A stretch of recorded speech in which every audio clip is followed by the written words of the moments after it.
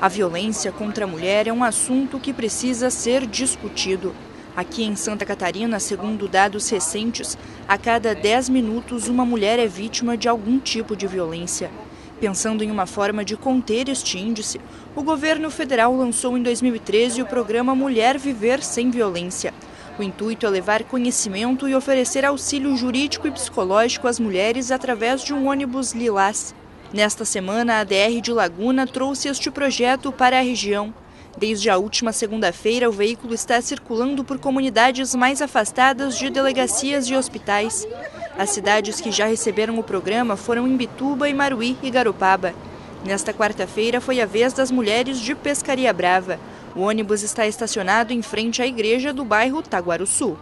A gente consta um psicólogo para atendimento individual, uma advogada que vai é, sobre a lei Maria da Penha, é, uma enfermeira, uma pedagoga e um psicólogo que vai fazer uma roda de conversa sobre violência da mulher. Então, o que, é que foi pedido? Para ir nos lugares mais de menos acesso. Então a gente está no bairro de Sul, que é uma comunidade, é um bairro que não tem ainda hum, posto de saúde, então por isso que a gente está aqui. A dona Teresa foi a primeira mulher a receber o atendimento em Pescaria Brava. Ela disse que adorou a consulta com o psicólogo e que é muito importante receber este tipo de ajuda e conscientização. Legal, muito bom. Parabéns para o prefeito que está fazendo isso, muito bom. Aí até foi uma coincidência, porque eu ia passando para baixo e me chamaram, eu nem sabia. Foi muito bom. A agressão contra a mulher pode ser tanto física quanto psicológica.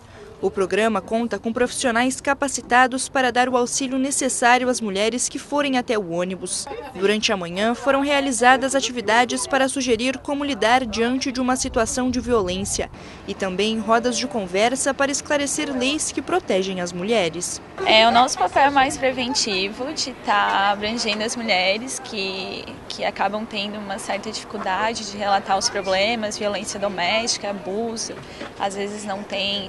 É, é, não coragem, mas é, não conseguem em órgãos maiores para denunciar. Então aqui é um trabalho preventivo. É, tirar dúvidas, esclarecer como elas podem proceder uma denúncia, já que o índice está muito alto aqui em Pescaria Brava, na região. Durante a tarde, o ônibus irá para a comunidade do Siqueiro e na sexta-feira será a vez de Laguna, no distrito do Ribeirão Pequeno, da 1 até às 5 horas da tarde.